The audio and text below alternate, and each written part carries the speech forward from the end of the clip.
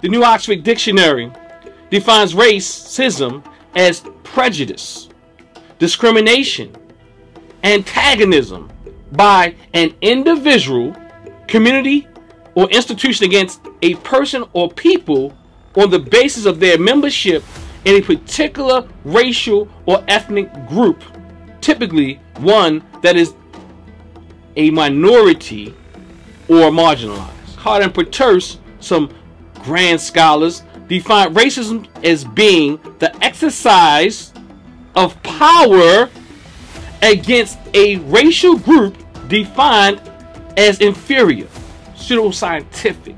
And again, we've been fighting hard.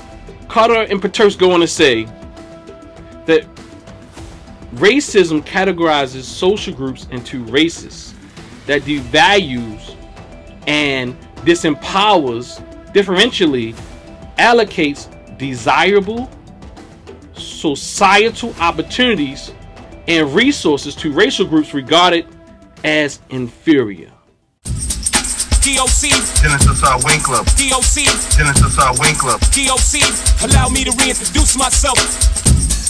DOC, Genesis R. Wing Club. DOC, Genesis R. Wing Club. DOC, allow me to reintroduce myself. My name, Greetings. Amani Nine Guvu, Dr. Dennis R. Winkler back at you again. And I want to talk about racism. This conversation is going to be kind of an off the cuff conversation, but it's also going to be a I'm going to I'm going to pull from my research, pull from my dissertation even as we go throughout this process. And I plan to continue to have these talks because what I realized is that although it's 2023, many of us have no idea, no idea about what racism truly is and how complex it is. We tend to look at it as uh, very simple when it's not that. Tend to miss the mark about the difference between prejudice and racism. There's even an argument about can black people be racist or, or other people of color can be racist or what have you. I think we miss the mark when we speak about racism because we don't understand in order to enact racism, there has to be some form of power backing you. Let's say that again. There has to be a level of power backing the individual, the group, or whomever is enacting that form of racism. Is that behavior de facto um, supported by law? Is it supported by uh, uh, uh, just agreement? Is it supported by culture? Is it supported by institutions? Is it supported by those who are the majority? And if it is, we can presume that there's some level of or possibility that racism have taken place. So I want to do, I want to pull my dissertation out. You know, this is my my, my, my dissertation bound. Um, you can find that dissertation online on ProQuest. You can even find it uh, on my YouTube station. You can find it on my YouTube station under some of my videos linked um, that, that I speak about a racist event that I experienced recently here in Baltimore um, with a, I guess what I come to now find out was an investor who was helping out at a restaurant. But let's let's look at what, what I, I've written here. It says, although the concept of race is illusory. yeah, let's let's look at that. Although the concept of race is illusory, racism is not. And when I say illusory, what am I saying? I'm saying that it's not necessarily a, a, a, a real thing that you can really hold on to. In fact, many of us speak to race being a social construct, and I and I agree with that. You know, but let's let's let's let's listen to what I wrote here. Although the concept of race is illusory, racism is not. And Pieterse and other and other scholars support that. Fuller, we know uh, Fuller, um, one of the scholars that Dr. Frances Cress Welsing um, kind of references much. He has his book. We have his book over there. The United Independent Compensatory Code System Concept. It says a textbook, workbook for thought, speech, and or action for victims of racism, which he also says is white supremacy. You'll see this. This is the real old version. You know, um, running the, the original versions. So Fuller is widely noted for his statement about white supremacy, which he maintained is racism. If you do not understand, this is what Fuller says, and this is what many people have repeated.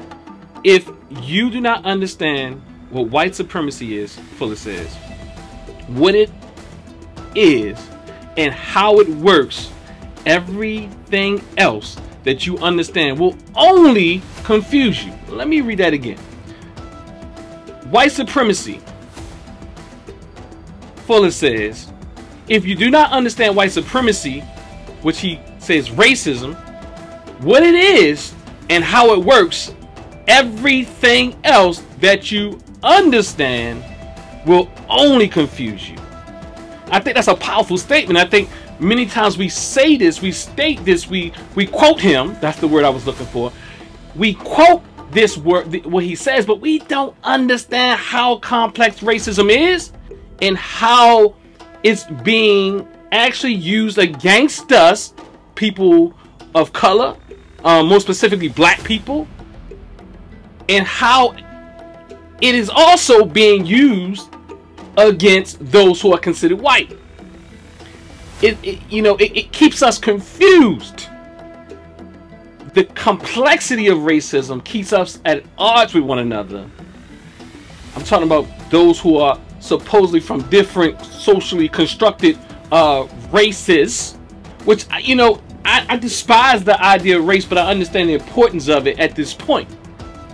You know, because the notion of a race in its formation was racist, if I can say. That's because race is not just to say, okay, I'm black, they're white, they're yellow.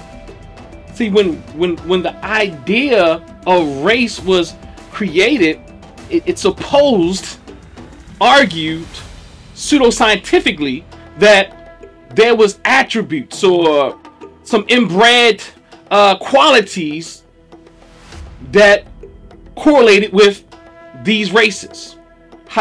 Black people being lazy, uh, and and so on and so forth. White people being superior and the the, the greatest, and everybody else in between actually falling somewhere you know closer to that spectrum. Black people being lazy, docile, dumb, need to be led, and on the other side of the spectrum, white people, white people being smart, beautiful, brilliant, and all these type of things, right?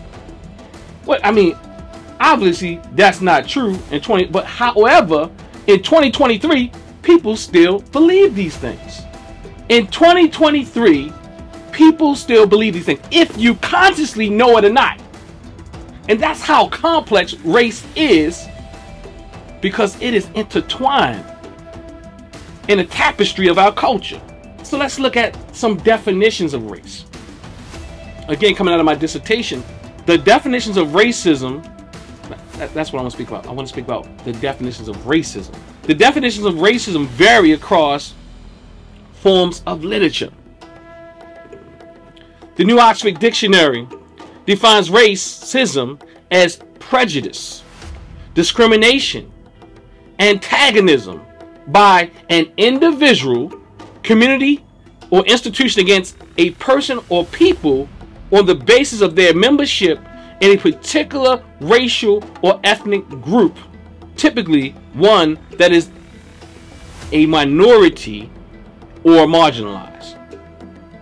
Fuller, Kambon, and Welsing, some of our grand scholars, argue that racism is a belief and a practice of superiority based on biological and genetic differences, while Hart and Pieterse, some grand scholars, define racism as being the exercise of power against a racial group defined as inferior.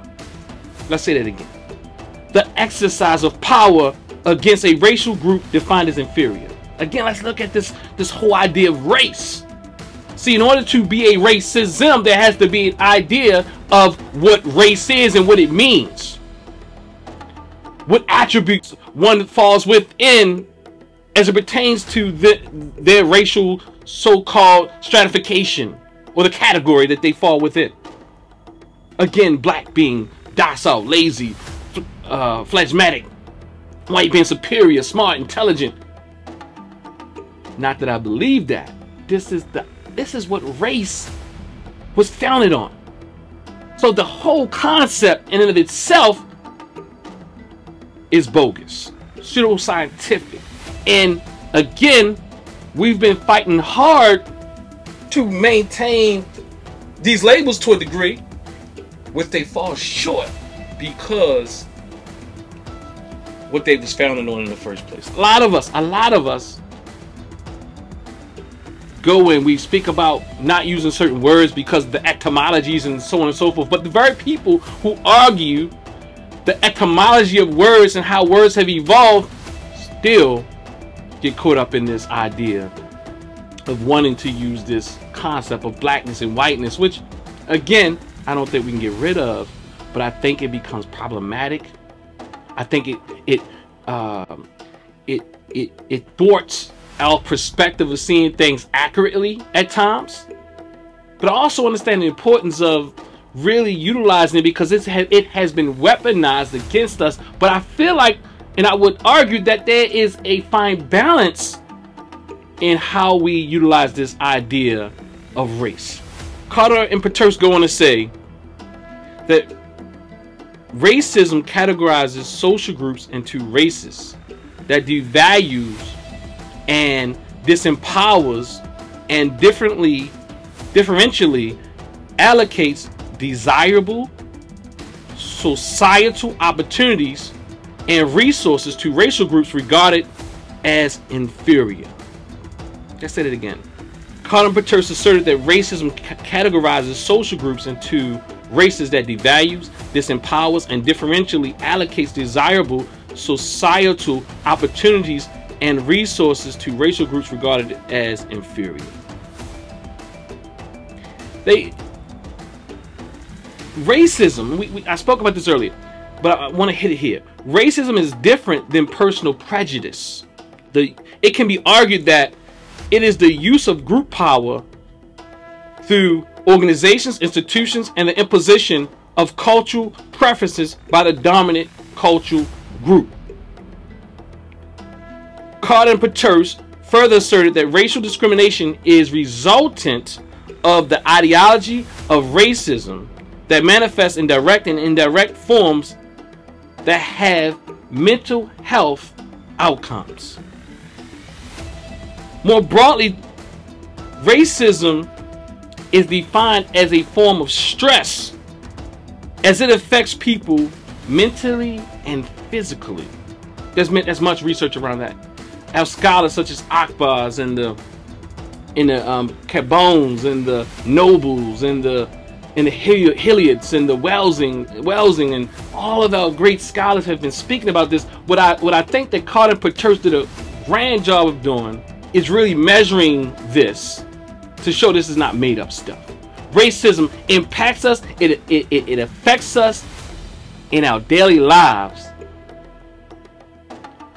It, it impacts us in our daily lives. I think what Carter Pieterse did what was, was, was brilliant is develop a scale that measures the impact that racism has on our psyche. And the impact that it has on our psyche also has an impact on us physiologically. This is something that we can quantify. This is something that we can measure. So it's not something that's just made up. And some people might argue against this is not racism or that is not racism or what have you.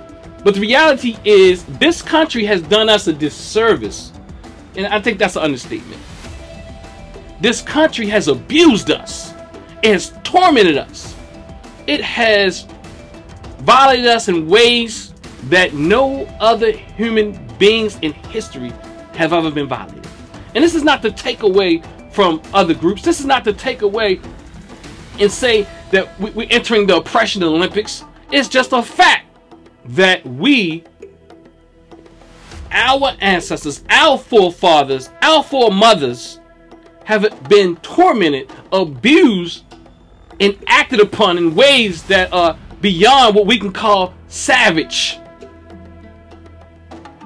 Now, there's others that have also experienced these things. And I'm not taking anything from them. And I think much work needs to be done in those areas, especially our Native American brothers and sisters. We definitely have to look at that. In fact, I have some Native in me Ancestry.com tests and supports that even. So I'm not just saying that. But what I do want to say is we, uh, people of African descent, have been impacted in some unique ways in this country that we cannot continue, or this country or people cannot continue to look past. They can. But I'm suggesting that we're going to fight for that. We're going to fight for the. We're going to continue to fight to highlight this because we have experienced injustice to magnitudes that is incomprehensible.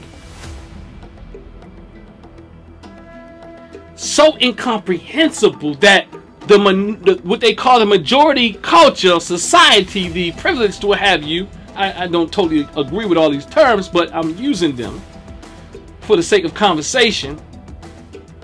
Doesn't even have to acknowledge that, and they call that privilege. You don't even have to realize the impact on our bodies, on African bodies, on black bodies, because it's easier for you to not acknowledge it. Because if you acknowledge the harm that has been inflicted upon us, then what happens is you now have to deal with those feelings. You have to deal with that guilt. Some would say you don't have any guilt. I understand from human beings from a very deep level, and I understand that there's some guilt there. There's some distance there because you have to see yourself in a in an idealized way. You have to continue to see yourself as doing good you know, you have to continue to see your forefathers and foremothers as have have doing have done good work. You know, I know it's easier for us. I'm a professor at Waynesburg University. In one of my in one of my classes, there was a a prompt about Hitler and and uh, George Washington and Thomas Jefferson and so on and so forth, and they put these gentlemen. you know, quote unquote, in the same category. They said these were uh, great leaders. The prompt. One of my students responded, I don't understand how you could ever put Thomas Jefferson and George Washington in the same category as Hitler. And that's because you have blinders on. That's because we have blinders on.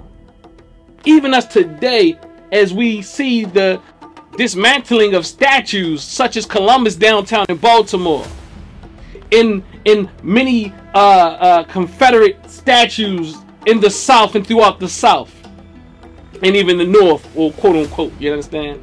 That's even a confusion. The, to put people in this North and South game, which is not real. Racism is pervasive in this country, whether you've been in the North or South, and slavery has been th all throughout especially on this East Coast here.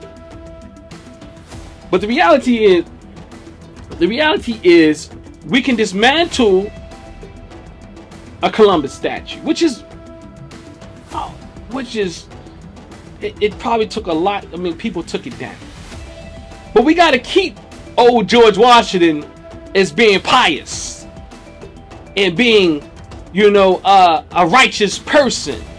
We got to keep old Thomas Jefferson and the rest of them as being pious and, and loving and so on and so forth. And, you know, to be honest, yeah, maybe they did love and maybe they were, uh, what have you, uh, good to their people. Yes, again, their people. To their people. But they owned slaves. They perpetuated the culture. They made the rules, created the rules, perpetuated the rules, maintained the rules, and all of this comes to this idea of race, which puts black men and women on the bottom of the totem pole, deserving of that.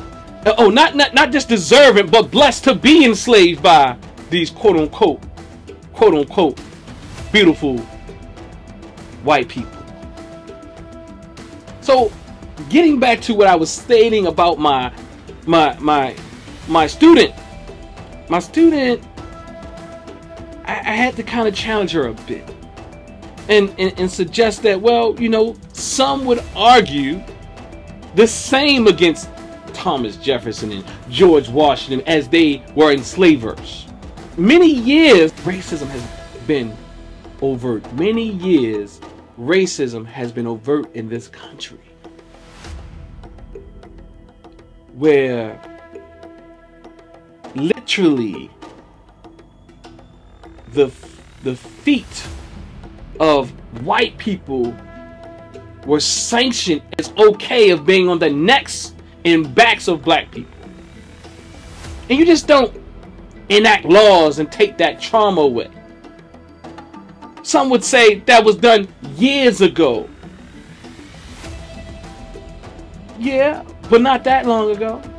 We're not even talking, you know, we're not even talking, uh, what, uh, what's supposed to be 1865 or what have you, we 1920. We're not even talking a good 200 years. But it didn't just stop there, as I'm, I'm suggesting here. It didn't stop there. It went into black codes and uh, Reconstruction and you know uh, uh, Jim Crow and and then police brutality and uh, the new Jim Crow and all these type of the drug the war against drugs which were code for destroying the black community with the opiates and the crack and all that that they put in the community in the first place. Bad black actors. You know, you understand what I'm saying? That's what I grew. I grew up in the 90s and the 80s and the 90s when all that was about. Where it, where, where, where media and all other forms of uh, racist assault has been taking place and continue to take place to this day. Because they use all forms, all types of weapons against us. So let's get to the uh, to a, a, a, a aspect of my dissertation entitled "The Pervasive and insidious nature of racism. We spoke about the overt, out in your face, your feet on our necks version of racism. But let's go here. Various scholars argue that racism happens on all levels and aspects of human interaction, which have been broken down into nine areas by our brother Neely Fuller, he says that racism operates on all levels in, in, in these nine areas, including economics, education, entertainment, labor, law, politics, religion, sex, and war. And I say, although dear Elder Baba put this out here, that you can extend this list even. But I think he did a good job to say it is in all levels. It's fought through the economic system. It's fought through the education system. These are weapons. The education that we receive in our schools are being used against us. Economically, we understand how economically still to this day, the, the, the business class, which is or the or those who control the resources, which is not us, have the power, have been granted the power, have been given stimuluses, who have been given the greatest form of welfare since the, the, the, the construction of this country here. Through labor, controlling us through labor, controlling us through law. There's a book, uh, The Color of Law, that you probably should read. Politics, every day there's a fight, just a few days ago. So, you see this in the expulsion of Justin Pearson and Justin Jones from uh, Memphis, Tennessee State House. First, the first that of this type because they were standing up against gun control. There was a there was a white lady, you know, and she was also standing up and protesting, but she was not expelled from the state house. You know, some would say, how do you support that's racism? She even suggested that it was racist. Why? She, they asked her, why were you not expelled? She said, basically alluded to the fact that it's not a secret what has taken place. And she herself, race of these brothers compared to her own. So, getting back to what I was reading here, we were speaking about uh, these areas that Neely Fuller spoke about as it relates to racism. Carter Pieterse argued that racism pervades individual, institutional,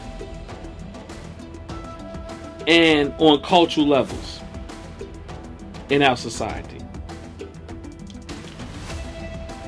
However, racism is often viewed as aspect of one's personal character versus the systemic processes of racism. So racism is all is, is many of us are deluded to believe that racism has to do with one's personal act against another.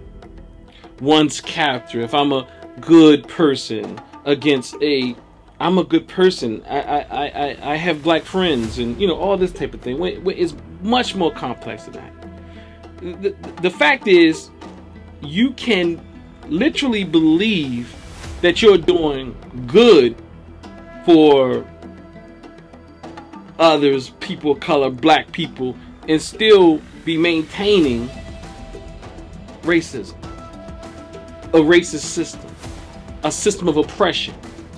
And it and it happens all day long. Because again as i stated earlier it's very complex racism is so complex when you think you're fighting it you're supporting it many times.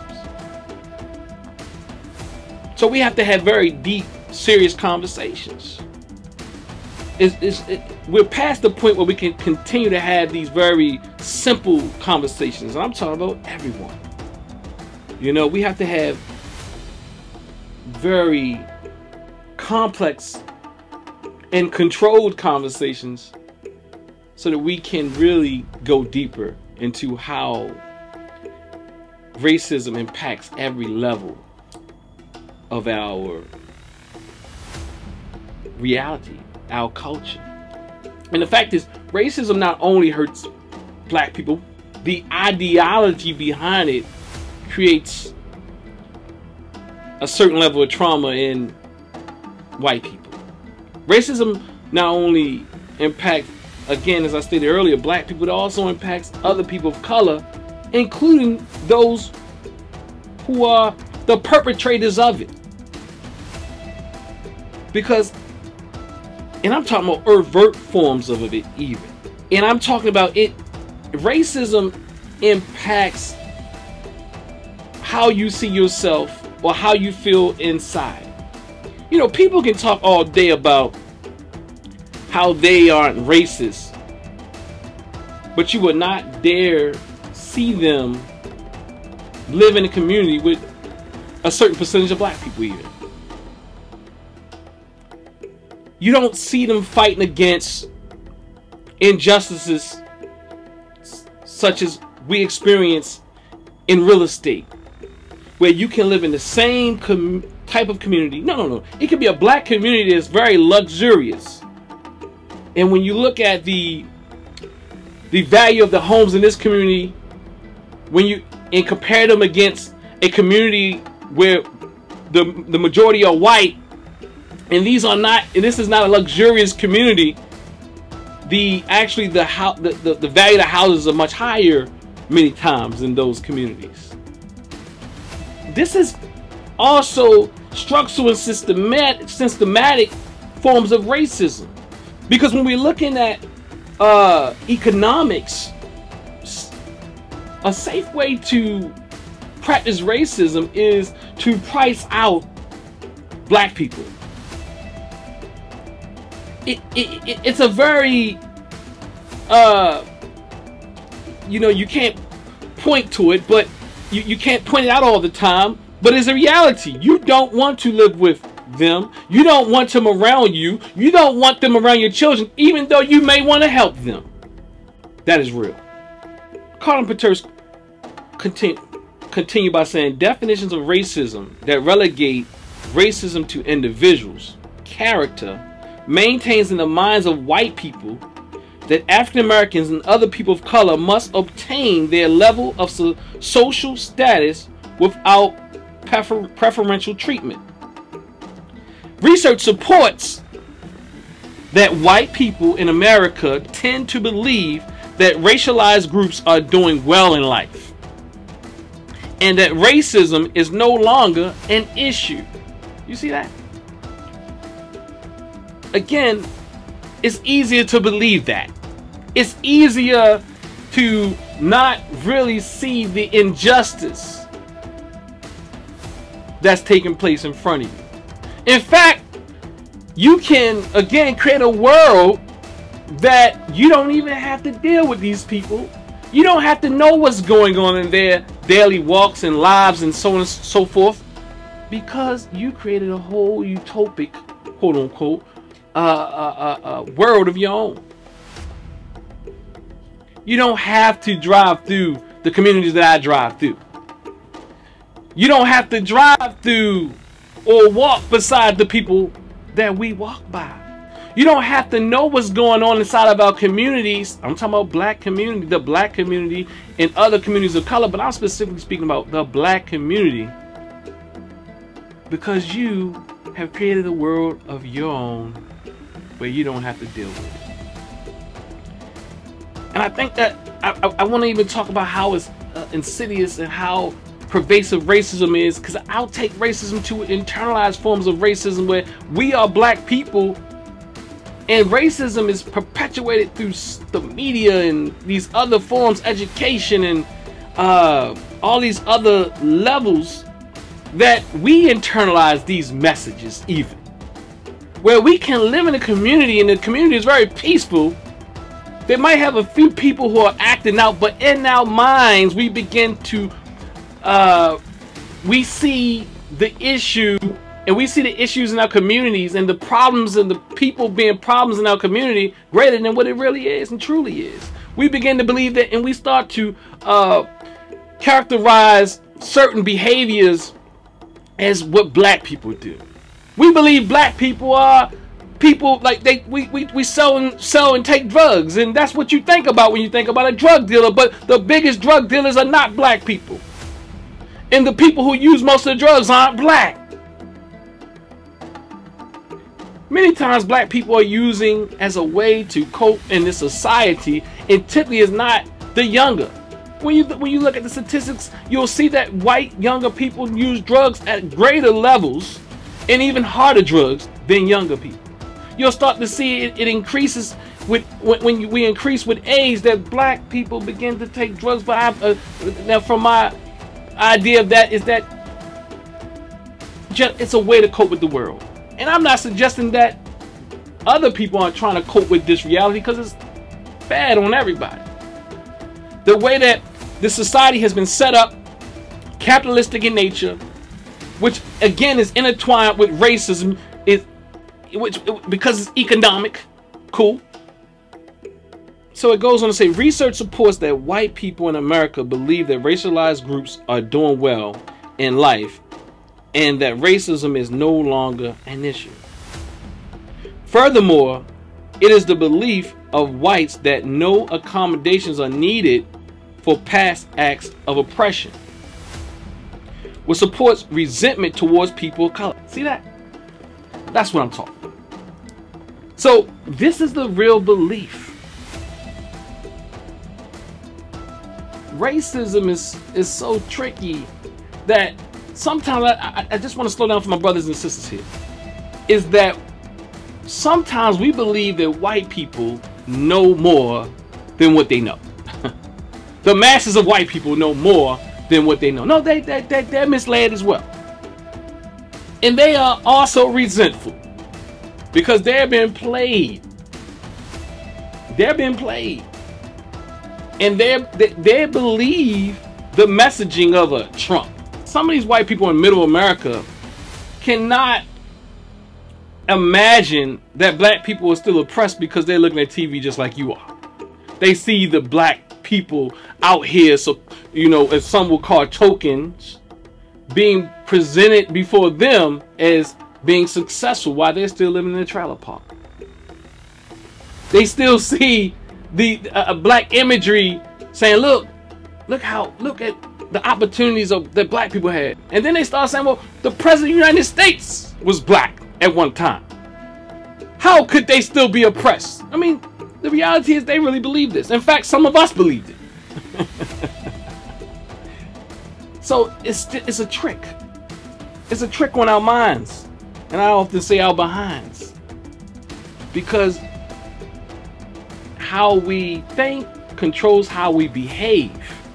And many times we say we have we no longer have been enslaved on a uh, we, on a physical level, but I say, man, if you are enslaved on a psychological level, which ultimately controls the physical, yeah, bro, yes, sis, yeah, they still got us physically as well. It goes on to say white people tend to define racism to being blatant, overt, and intentional acts However, having such a limited definition of racism lends to acknowledging very few facts or very few acts of racism because most people will not admit to intentionally wanting to harm others due to race. So, and this is what happened, you know, with me.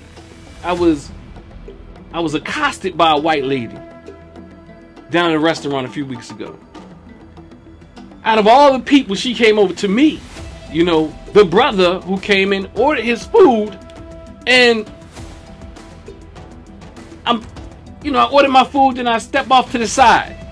I step off to the side because I ordered my food. I'm now wait. I'm waiting for my food. They have a, they have a, a, a open mic going on. I find a position where I'm not blocking anyone. I then begin to ruminate because I have a an event going on uh, the next day, um, a, a race-based traumatic uh, uh, uh healing circle, which is the, the, the, name of the circle is uh, for the people community healing and enrichment circle, where racism is we're trying to tackle the impact that racism has on us psychologically and viscerally in this circle on our people. Because that's the purpose but I'm in and I'm thinking about this. I'm thinking about what's going on and how I'm going to prepare. And next thing I know, I caught a gaze, or, or, or I thought I was gazing at this white lady because she was looking directly at me. And I'm thinking because I'm ruminating, she, she th she's thinking I'm staring at her. So I kind of shift my gaze. When I shift my gaze, I, I start, I begin to ruminate again. Next thing I know, she comes over to me and say, "How can I help you?" And I say, hmm. I said, oh no, um, I uh, I already ordered. And then she says, what's your name? And I say, um, uh, uh, Dennis. And keep in mind, I'm in this restaurant, and 90%, no, probably 99% of the people are, are, are, white, and they're on the stage, they're having a good old time, you know, you know, and it's one, it's, it's another brother who's sitting down, he has an Oreos um, um, get up on. And as she walks off, after she asks, asks, asks my name, I, I catch eyes with him and he shakes his head. So I'm saying, wow, okay. So he saw that too. Because she came to me in a very assertive, if not aggressive manner, asking me, how can I help you? And, it, and she wasn't even that close. So this guy could hear that. He saw the interaction. Then she seemed as if she didn't believe me. So she asked me my name. And I say, Dennis. So she goes back and I don't know what happens. At some point, a table becomes available. I sit at a table to uh, create a post to suggest, uh, to, to kind of put out that we're having the circle um, the next day. And and before I can even post it, I'm looking for the picture of the of the flyer. And next thing I know, she comes back over over to me and say something uh, like, uh, "What do you say you were here for again?" And I said, "I'm waiting on my food." And then I said, "I thought it clicked in me like, okay." So I, then I said, "So, uh, but why are you asking me that again? I, I already told you."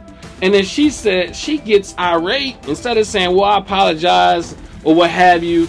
She just she gets irate and, and we and then she at some point tells me I can get out because I didn't order any food, and people who uh, uh, support the restaurant order food and drinks and so on and so forth. And you know, that's this is the quick this is the quick skinny of things. But nonetheless, at some point, I I, told, I said I ordered food. She walks off though. She walks off at you know, oh no, she asked me my name again even, like she didn't already ask me my name.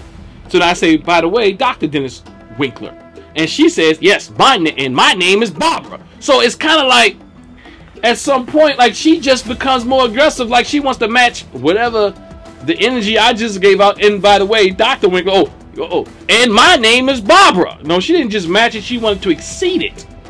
I pulled my camera out, and then she uh, said, Oh, I'm done with this. Enough of this. I'll take care of this quickly. And then she walks off. At this point, I kind of follow her with my camera, and I'm repeating what had taken place. I'm repeating what taken place for the camera for those who will view the film later and also to keep you know uh, a log of what took place um, so I come in the back and I have the camera on still and I say she she she said I didn't order anything and and, and and she keeps coming back over to me. I don't know why she did that, and so on and so forth. And then she says, "Do you have to keep repeating yourself?" Now I'm a customer. Keep that in mind. Keep in mind that she never apologized about anything. She never apologized about when I asked her, like, oh, why you ask me again? I already told you. She just got more irate. Customer service would say the customer is right, and oh, I'm sorry. Um, you know, what have you? Um, there was some confusion with your order or wh whether you ordered or not. None of that. She just supposed that I didn't order anything and I was taking advantage of the place and the establishment some people questioning whether this was an act of racism or not. Are you security? She says, I don't have to say anything to you. and then at some point towards me close, and I say, Get, get out of my face, please. and she says, I'm not going anywhere. And then the owner of the restaurant sitting there like, I don't know what's going on. I don't know what happened. I don't know what happened. You know, And I say, can you ask her to get out of my face, please? They, she never apologizes for this lady being in my face. I'm a customer. You know, none of that took place. It's some black brothers there who's kind of like, man, I'm sorry, da da da. The owner of the restaurant never to this day apologized. However, her sister did send a message and she said she was saddened about my experience. Her sister had nothing to do with the restaurant. She was saddened by the experience and she thought and she thanked me for my uh, anti-racism work nonetheless. But nonetheless, she also let me know that they'll be closing down and so on and so forth and I looked at some reviews and things. I see that the late the owner of the restaurant had some issues with the actual establishment, um, with customer service in general. And I later come to find out this lady was an investor, and perhaps maybe she didn't want to step to the the owner of the uh, I mean the, the investor because she was hoping that this would be a way that she could save her failing business. Uh, this is an assumption. This is my you know, but nonetheless, I don't know why she didn't step to the lady's face, but at some point in in the interaction, I, I, I suggest to the owner because this lady just gets worse. She she doesn't back down. Even when she steps away from my face, she's pointing at pointing at me through a jacket, talking with her just pointing at me like, yeah, this guy, you know, stuff like that. And then I say she just gets worse. She just gets worse. And then I, I say to her, to the owner, I say she doesn't know what racism is, does she? You know, some some people would say, well, yeah, obviously she knew what racism is. She was overtly being racist. Now, what I mean by that is, I was giving her the benefit of the doubt. You know, and I was also saying that, again, as I started this presentation off or this conversation off, is that racism is racism is so uh, complex that you don't even have to know consciously that you are um, behaving in a racist manner. You know, and so I got a lot of feedback from I, I assume people who uh, who don't believe racism exists, uh, saying that how do you prove that this is racism? This isn't racism. This is just an argument. Now, first and foremost, I'm the only person being accosted. I'm probably like uh, one, less than one percent of the the patrons in this restaurant. This lady came over to me and no one else. You know, she never ever backed down. No one in the in the in the restaurant actually ever um, uh, apologized. Um, besides the black gentleman, uh, the owner did not apologize. Now let's keep in mind when we talk about uh, economics, right? Um, when we're looking at this from a from from an economics perspective, we understand that this lady may have been an investor. No, it's she's an investor um, according to the owner's sister and also someone on IG who also called the owner. So I have two accounts to substantiate that from various two two different sources. So now look, this lady has some financial capital, and now the owner doesn't want to back, doesn't know what to do. You know, when I suggested that this may be racism, she says, "Oh, I hope that's not it," uh, uh, and she gets, and then at some point I say, "That's exactly what it is." I'm, I'm a race-based expert or something like that, and you know, and, and this is exactly that is that is exactly what it is. And she says, "Well, I hope not. I, I hope not." And then she freezes, like she just goes blank. And I and I again, I think racism. I would suggest that racism impacts us on visceral levels. It impacts our bodies. It, it we it sends us into fight, flight, freeze, or faint. And I would suggest that that lady, racism in her body, it, it was viscerally charging her to fight. You understand? Because she saw a black man that charged her viscerally, which angered her consciously or unconsciously, and she wants to step to me. And I'm I'm later finding out this is what people are calling Karens. So she feels like she's obligated to step to the black man. You understand? And she's going to, and, even when uh, she found out that I had placed the order, she never apologized. She still didn't back down, and she continued the uh, poor behavior. The owner never apologized. She actually froze, which again happens on racism happens on a visceral level. So it was, from my assumption, is that she froze. And when, when, when she was charged or her establishment was charged as having been racist or the person having been racist. The other lady was fighting. She froze, and potentially also because she froze because it's overwhelming. Because this is an, this is an investor that she's hoping things work out, and it doesn't seem like it's working out because you know. And now she freezes because it's too overwhelming for her to deal with. I hope not. I, I, I hope not, she says. And then she just blanks out and it looks like she dissociates. And then she goes out for a few seconds, and she comes back like, oh. And she shakes out of it and says, Oh, um, but, but how can I take care of you? Or something like that. When you don't know, when you're not educated, or you don't know the complexity of racism, you you will say a thing like that. You will say, Where's the racism in that? Because as we we spoke about earlier, white people believe that racism are overt, blatant acts. So now you have people questioning whether this was racism or this wasn't racism, and that they're suggesting that I'm throwing the race card. And one thing you will probably, if you learn anything about me, that I don't just throw around these things, and I don't even want to, and I'm not a victim-minded person because white people do not scare me. You understand what I'm trying to say? I'm a warrior for this. You understand? I, you I, I, they don't scare me. I will fight for this, and I fight for this. And do I think all white people uh, uh, are trying to hurt me? No, I don't think all white people are trying to hurt me, but do I, but do I understand that people hurt you unintentionally? Yes, they do. Do people hurt you out of their level of ignorance? Yes, they do.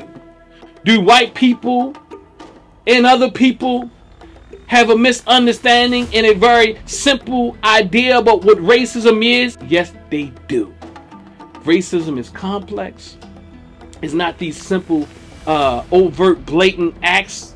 Racism is, is, is, is complex, even more complex because the trauma that has been inflicted on our forefathers and mothers that have been passed down. And we talk about uh, being trauma informed as it pertains to working and intervening on, on, on academic to clinical levels and in, in societal and workplaces and all this thing, but nobody hardly wants to talk about how black people deal with trauma as it relates of racism, what can be called race-based trauma, and they're dealing with it every day. But nobody, not hardly anyone, wants to deal with that. It, and, one thing I realize is it's much easier to deal with all these other schools of what we call multiculturalism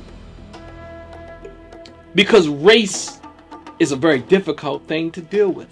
It's a very difficult uh, topic or discussion because we're viscerally charged, but we got to do something with that. We got to work through that in order to really make and bring about real change. Because if, if we don't deal with it, and what happens many times, what happens many times is, and what I'm seeing is, although black people are the ones who who who I'm going to say created the model of social justice. And I'm not going to say I'm going to suggest maintain it and, and, and posit it very strongly. We are the ones who created these models of social justice. We created the models of reform. I'm talking about this particular country. We created these models and that everyone else that falls under the multicultural umbrella are utilizing to this day. Social justice, civil rights, black liberation and black power movements, which later became uh, uh, women and and, and uh, all other types of people who have been oppressed in this country have utilized since then LGBTQ plus community uh, all type of uh, uh, people who are not able people who have been discriminated because their age people who have been discriminated from so for so many different reasons.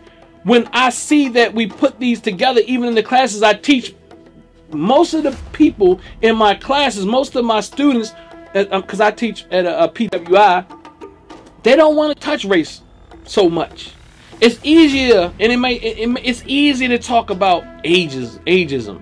It's easy to talk about uh, uh, uh, the issues with the LGBTQ plus community. It's easy to talk about um, other forms of oppression, but when it comes to race, and I'm saying these, all these forms of oppression need to be talked about. All these forms of oppressions need to be dealt with. All these forms of oppression are oppressive, and we need to fight against them.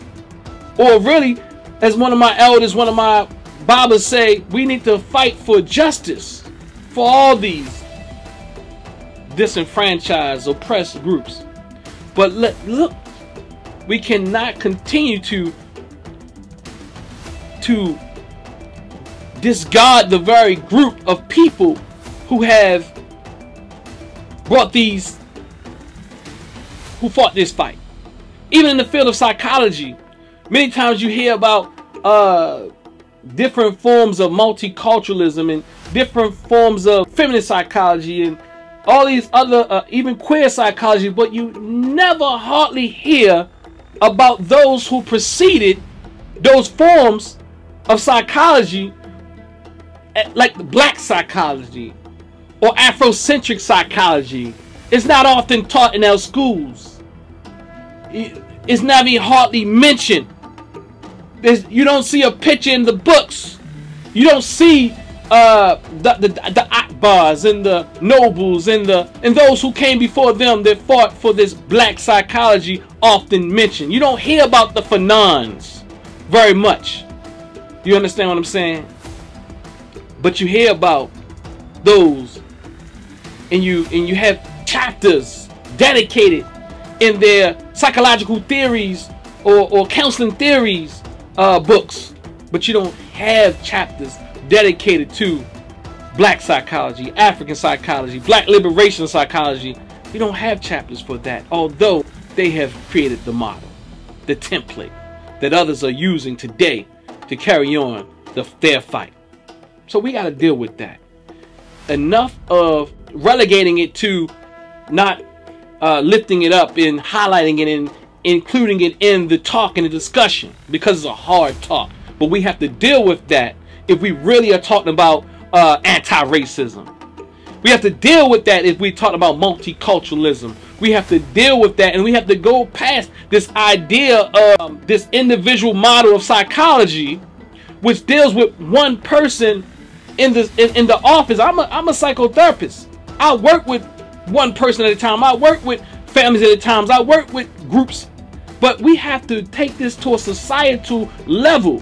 When we talk about social justice or we talk about advocacy, many times I get papers from my students where they're talking about teaching the the, the, the, the, person inside the counseling room to advocate for themselves. When I'm talking about advocacy, I am talking about a level of advocacy that advocates for social reform, so change or you know dismantling and creation of a system that is uh, beneficial for human beings. Not this advocacy that or, or, or, or, or teaching us just to cope inside of these oppressive systems. So again, racism is pervasive in the cities. It's not overt and blatant all the time. In fact, it's become more complex. You know how it is. When you're in a relationship with somebody, when you're in a relationship with somebody, they they, they might be aggressive and they might be abusive and the next thing you know that you you call them out for their stuff and then they find ways to be passive aggressive and that's how you can look at microaggressions because they you you when, when you have an abusive party that are, are trying to inflict a, a, a, a harm on you when you call them out they find slick ways to continue to to torment you without being caught or or be, doing so. It's kind of like when you talk about uh, people in abusive relationships when they gaslight you, act like they don't see a thing and it's not happening. Oh, duh, well that didn't happen. Well, that's that's that making you feel like you're crazy. And this is what they and this is what this society, this is what our education system, this is what the social, economic, political system has tried has attempted to do to black people and not attempted to do. They are doing it. They are doing it. Trying to make us feel as if what has happened has not happened when it's happened. It's not about racism, uh, you know, and I want, I want to be clear. I want to be clear. Lots of things have happened to us. Lots of things have happened to black people in this country. Brutality, overtly. The breaking up of our families, our communities, the infusion of drugs in our communities, being lynched, hanged, shackled, murdered, emasculated, raped, pillaged, all types of things that happen to us. But again, trauma impacts all involved. Trauma impacts the person who is shot and the person who's doing the shooting. In order for someone to shoot you in the first place, it's indicative that there's a certain level of fear and possibly a high level of trauma. And when you've been through a level of trauma, when you've been traumatized, you're pretty fearful. There's a there's there's a sense that you have some mental health issues. So we we, we gotta look at this thing on a on a, mental health on a societal level.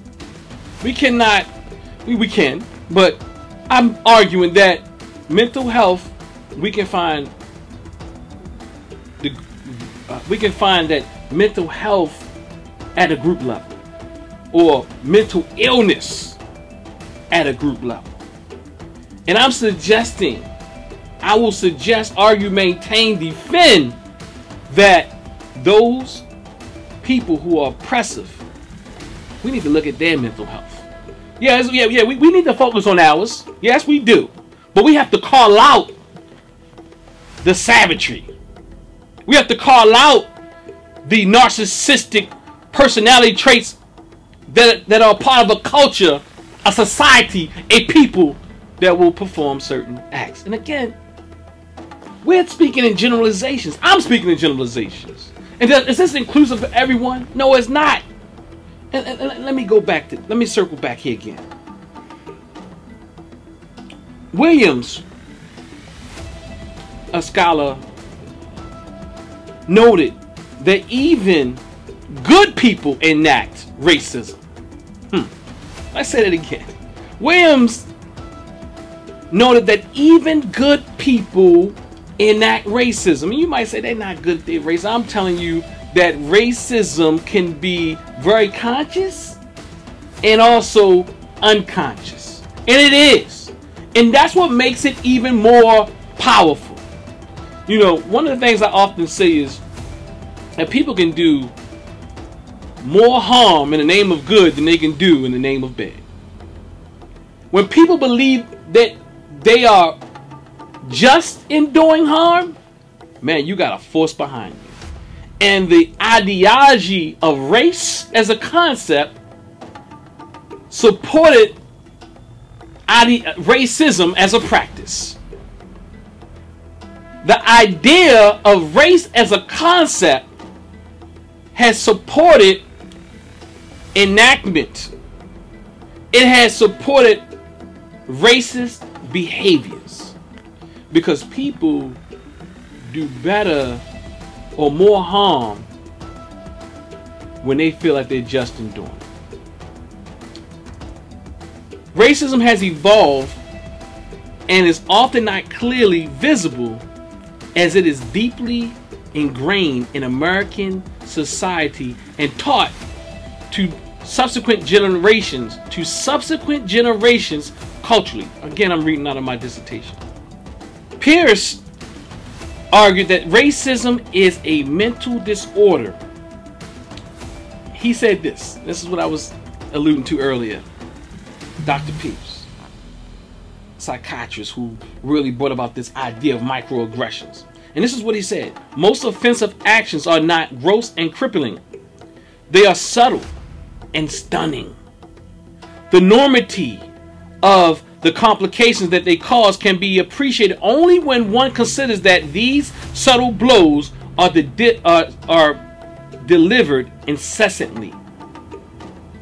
Even though any single negotiation of offense can in justice be considered itself to be relatively innocuous. The cumulative effect to the victim and to the victimizer is of an unimaginable. Hence, the therapist is obligated or obliged to pose the idea that offensive mechanisms are usually microaggressions, as opposed to gross, dramatic, obvious macroaggressions. And, and, and this is not a part of this uh, of, of that particular quote, but I want to further that by saying microaggressions are considered to be small racial acts that are not clearly racially motivated.